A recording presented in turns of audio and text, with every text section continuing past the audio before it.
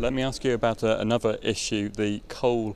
Uh, idea of coal extraction, gas extraction from the Firth of Forth. Um, what do you make of this plan? It could uh, could be a very large number of jobs potentially, I imagine, for, for this part of Scotland.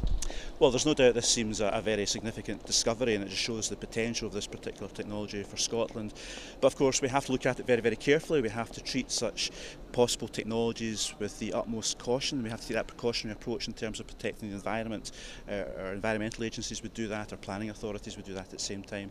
So we'll see where this particular application goes, if it is actually lodged and taken forward, but we'll take a very precautionary approach towards it. Scotland's got an array of clean energy sources that we can deploy, and that's why when a new one uh, comes into the frame such as this, we have to take a very careful approach. I mean, this is natural gas. It's perhaps, a, you know, people would see that as a fossil fuel. Doesn't it undermine then your re renewable commitments? Well, clearly Scotland's very, very lucky. We've got an array of renewable resources and clean energy resources uh, in Scotland to, to power our needs of, of the future.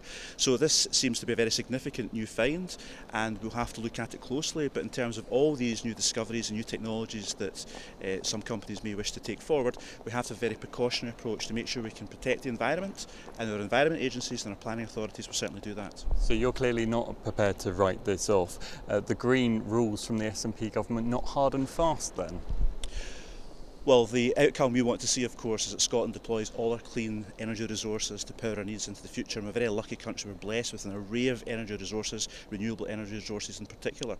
So when a new technology comes into the frame, such as this, which seems to be a significant find, we have to look at it very carefully, look at what the implications potentially could be for Scotland's environment. And that's why we'll take a very precautionary approach in terms of the way our Environment Agency and our planning authorities handle it.